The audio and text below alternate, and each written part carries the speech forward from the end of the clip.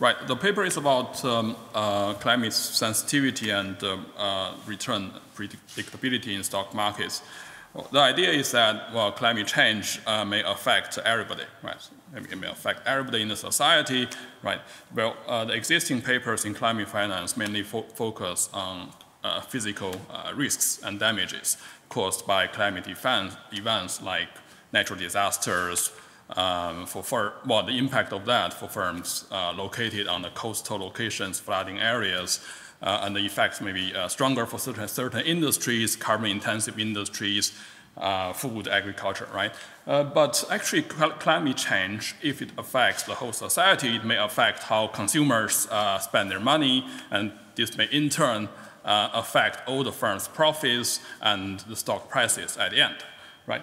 And if that does, uh, if climate change does matter for the society, for our economy, and then their cost and benefit needs to be understood uh, much more carefully because certain firms may be uh, hurt by these climate changes, temperature changes, where, where other firms in the economy may benefit, right? So how uh, stock prices can take all these uh, um, um, uh, well, uh, impact into account, well, that's going to be studied in, in, in our paper.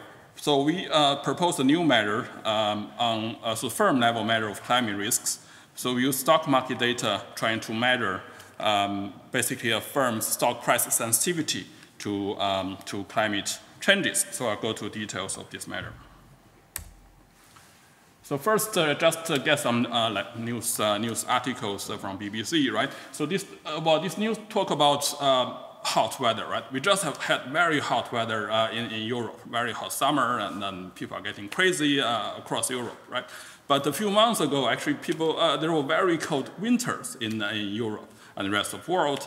Many countries experienced some of the, uh, uh, the coldest weathers for 50 years. Right? So we do see these climate changes, they changed our temperature. They may lead to very hot summer and very a very cold winter, so in general, the weather can be more volatile. But some firms may benefit from that. For example, the, the, the news from the, from the left uh, shows that well, actually retail uh, prices, retail sales in the UK went up when the weather is becoming very hot. It's because uh, people go shopping, they, they buy new clothes, uh, they buy food, uh, they spend money, they try to enjoy themselves in, in the summer, right? Um, but some other, other industries may, may, or firms may, may be hurt, right? Some, uh, these are some news from the right, saying that some, some uh, SSE, that's a um, uh, utility firm in the UK, oh, the profit got hurt because, well, their, their asset got damaged by, by climate changes because their wind turbines uh, doesn't work very well if there is no wind. So um, given that we uh, sort of um, know that climate change indeed is important for, for finance, so we try to contribute a bit um, on, the, on the impact of uh, this systematic impact of climate changes uh, at the firm level. So however, uh, if we look at current literature, there is no um, so systematic risk measure of climate risk in, in financial market. So most of the measures uh, are based on sort of carbon emissions, um, assets, sort of carbon intensity or the location of the firms, whether that's in a risky area or not. Right? So um, we use them, uh, the measure we are proposing is uh, using the stock, stock prices data, right? So the idea is very simple, right? So if you think about how a stock market price uh, cash flows are produced by firms, I guess the fundamental model we have, we have in mind is capital asset pricing model where the systematic risk of a firm, which is a long-run driver of returns for, for, for assets um, in, in, capital markets, uh, that's measured by the sensitivity of stock returns to stock index movement, right? And then what we are thinking is that, uh, well, uh, how about um, having a measure of sensitivity of stock returns to abnormal temperature changes. Right? So if temperature changes a lot, very hot, very cold in certain bounces, well, stock returns of some firms may change. So certain firms, uh, if uh, uh, certain firms, their, their stock returns are more influenced uh, by these abnormal temperature changes, and then we can say, well, these firms are more sensitive uh, to climate change, and then uh, they are defined as firms of high climate risk uh, in, our, um, in our study. Right?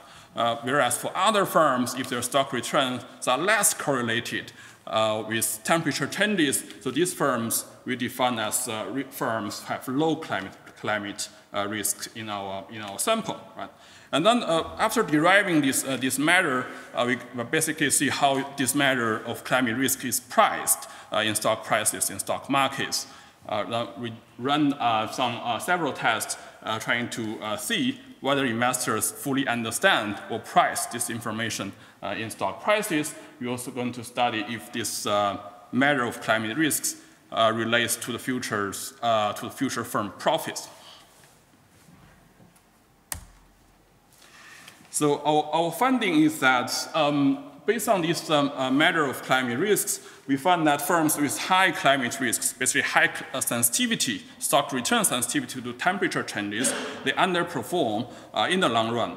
So we gather uh, US data for all firms in the uh, listed market in the, in the US uh, for more than 85 years. So from 1931 to uh, 2017.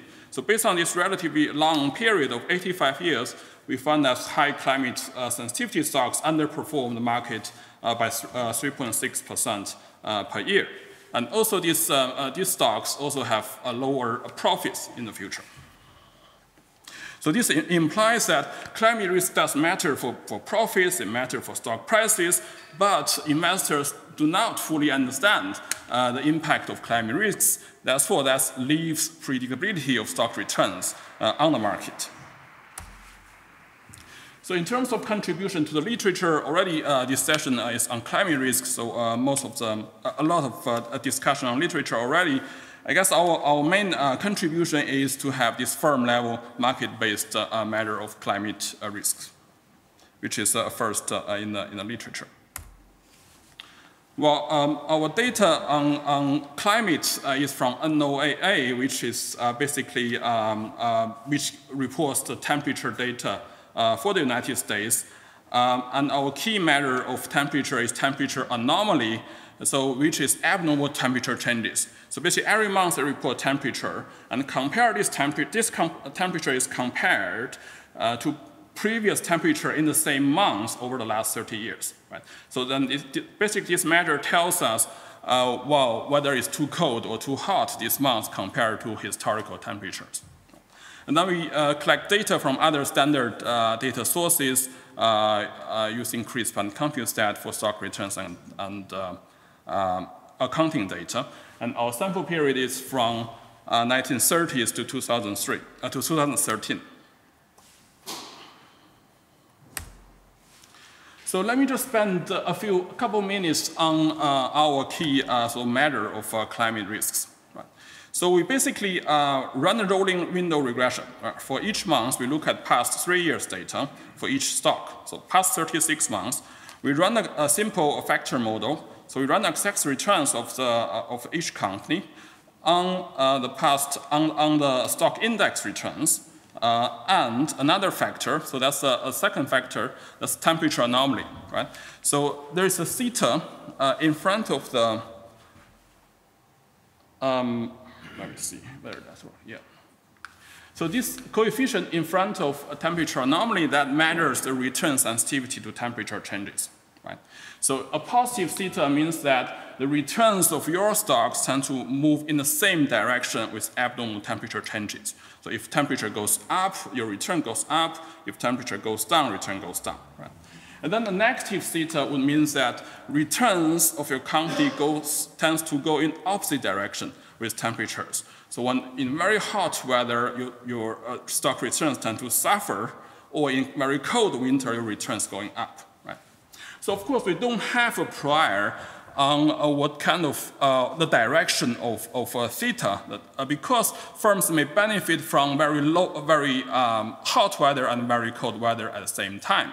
For example, for clothing firms, if you sell clothes, uh, well, if uh, it's very hot summer, people go, go buy new, new clothes.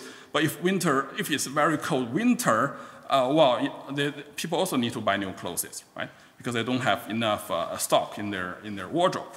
And so that's why we take uh, absolute value of this measure, right?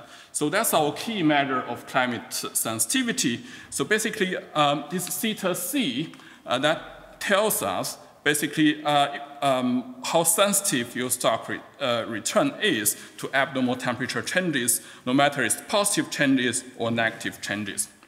So basically, every month we run this rolling window regression for 85 years. So we have uh, this uh, theta measure, that's our, our climate risk measure, right? And then the next step is to construct portfolios based on these measures. So we sort stocks uh, based on uh, climate risks. So uh, the top 20 percentile, that's the stocks uh, who, which are basically have the highest uh, climate risks. And the low portfolio would be the lowest 20 percentile of stocks. Basically, they're insensitive to temperature changes after we control for market movement, etc. And the remaining stocks are in the middle. So we, we, have tried different ways to define these sort of different cutoffs of portfolios, uh, have bigger or, uh, or smaller cutoffs uh, for the high and low portfolios, but results are uh, very much similar. Okay, so uh, some data. So this is a raw data we downloaded from NOAA, so the national uh, um, sort of agency in the US. It reports temperatures. Well, so you have seen this in, in other uh, um, presentations in the same session. So basically, this uh, graph tells us the temperature changes from 1930s uh, to, um, to 2017. So these are temperature anomaly. So basically, this is uh, temperature of each month compared to historical temperature for the same month. So basically controlling for seasonality. So as you have seen, temperature has been more or less stable, right? until 1975, whereas things so start, uh, well, it's going to move up a little bit. Uh, so uh, over the last uh, 30, 40 years, right? Another thing you can see is that actually a temperature can be quite volatile, right? So you could, uh, so it's not just uh, increase, increase over time, but you can see a lot of volatility of a temperature for each month. So here is uh, just um, uh, basically uh, we just try to see uh, which industries uh, tend to have this uh, highest climate risks based on our measure. So what we did in this, um, in this um, table is simply first calculate temperature, sort of the theta, the climate risks for each firm, right? And then we aggregate them to the Fama, pharma French 48 industries, right? And then um, we, so uh, we report the top 10 and bottom, uh, top 10, bottom 10 industries of unconditional climate risks. So that's before we take in the absolute value, right? So uh, here, uh, the column on the left shows that the industries with the highest uh, climate uh, risks. So remember here, high, highest um, unconditional climate risks, meaning that these stocks in these industries, the, stock returns tend to go up in very, very hot weather. So which uh, industries benefit from very hot weather? Well, it seems uh, medical equipment, uh, drugs up there, it seems uh, in very hot weather, indeed, consumers need more medical help. Right? And similarly, some industries like toys, fun, so entertainment industries also benefit from very hot weather. So on the column uh, to the right, so these are the bottom 10 industries if you, do, if you run the unconditional version of climate risks. So remember, uh, if when we run this unconditional version of climate risks, so the most negative uh, numbers, meaning that stock, uh, these stocks benefit most if weather is very cold, right? So in very cold winter. Right? So which industries benefit from very cold winter? Well, unsurprisingly, you see oil and coal uh, benefits from very cold weather because people need more heating. And um, uh, you also see food and smoke industries uh, where the returns tend to, stock returns tend to go up if uh, uh, we experience very cold weather. So basically meaning that people eat more and smoke more in very cold weathers.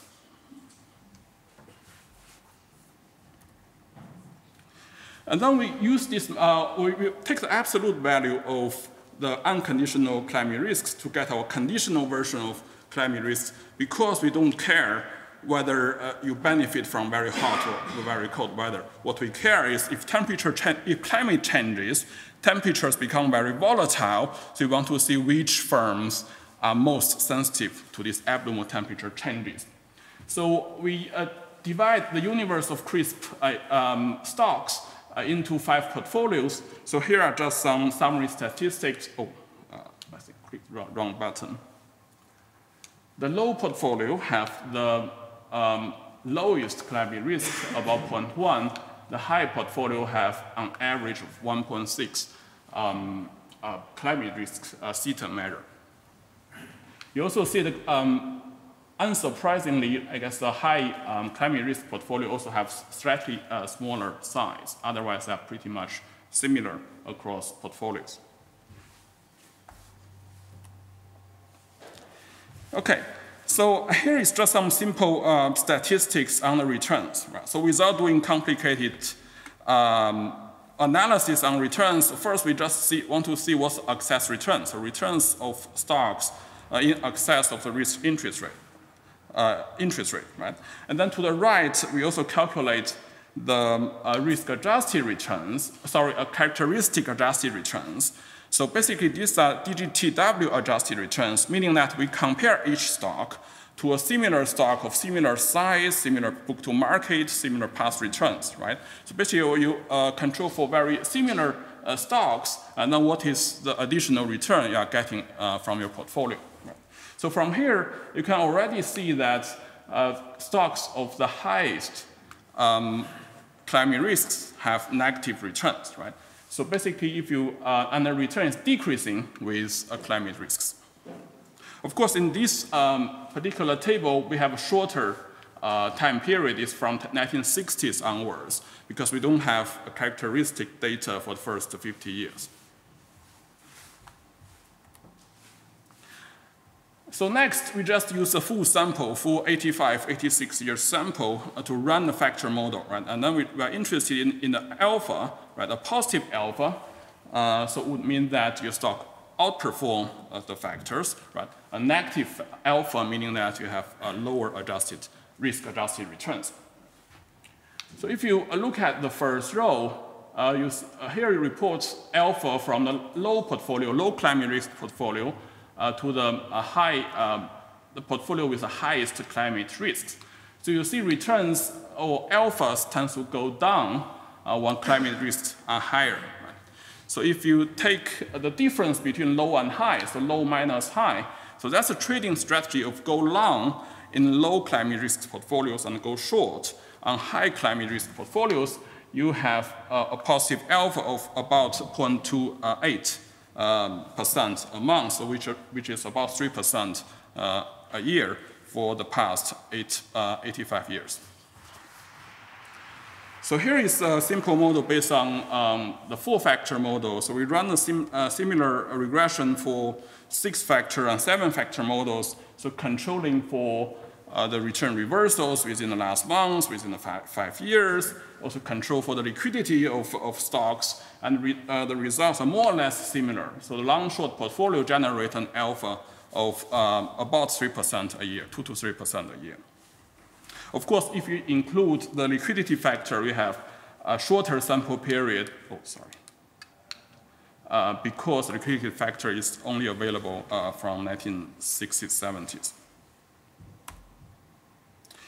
So, of course, we can argue that the beta may change over time. Portfolio manager, managers may adjust their beta portfolios based on macroeconomic conditions.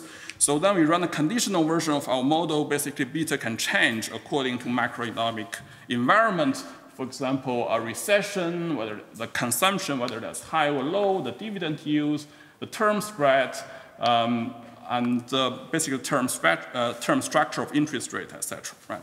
But what you see is that uh, the alpha is pretty much similar uh, to the, uh, basically results are very robust relative to the time varying betas.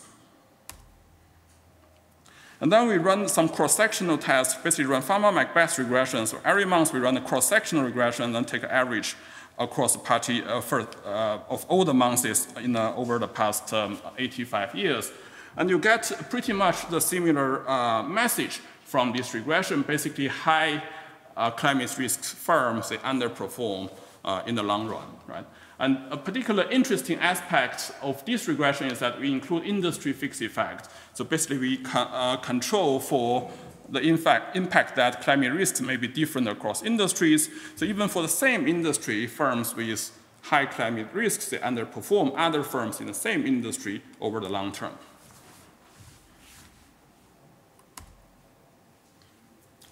Right, so till now, all the tests are based on stock returns, right? So then you probably ask the question whether that's just something strange happening in stock markets uh, where it has nothing to do with the real performance of the firm. Uh, well, to check that, we also see investigate whether uh, climate risks re uh, indeed relate to the profits in the future for each firm. So we found that a high climate risk also leads to lower profits for a firm measured by return on assets. So the impact is about 2% uh, a year, meaning that the ROA for high climate risk firms in the long term is 2% uh, lower than other firms within the same industry. Right, so is this some missing risk factor uh, or some short-term mispricing? Well, to check that, although we have included a number of uh, risk factors uh, in our test, we also done a longevity test to see whether our uh, predictability in alpha persists over time. So what we did is we increased the lag between the portfolio uh, formation and the return calculation. So we see that when we increase uh, the, the lag, the alpha disappears, meaning that there are some short-term mispricing uh, in the in stock market. This can be corrected uh, in the longer term. Right, another robustness test, uh, test we are doing is that maybe there are some asymmetric uh, climate risks. So certain firms are very sensitive to very hot weather, but they, they're not sensitive at all to cold winters, right? Whereas other firms may, may be other way around. So they may be very sensitive to very cold weather, but very hot uh, weather doesn't affect their profits and returns. So to investigate this possibility, we run a similar model but we include two temperature anomalies. One is for positive, one, the other one is for negative. So basically, we uh, allow for different uh, slope, different sensitivity to very hot temperature and very uh, low temperature. And the results are very similar. So basically, the predictability we found uh, is present in both, uh, in both cases, although uh, the alpha is strong, slightly larger for positive temperature anomaly meaning that when temperature getting hotter, we see more underreaction in the market, or meaning that there is more alpha in, the, in stock prices. So to conclude, based on past uh, 85 years data, we found uh, we developed a measure of climate risk uh, purely using um, the correlation between stock prices and temperature changes, right? And then based on this market-based measure of climate risks, um, we find that these firms, they tend to underperform uh, other firms with low, low uh, temperature sensitivity. Uh, these firms also have lower profits in the future. So um, what's the reason for that? Uh, so we think it's just climate changes Uh, leads to these temperature changes uh, in the long term, uh, but investors are a bit slow in updating their, their trading and updating their, their actions. So therefore, this leads to alpha left on the table.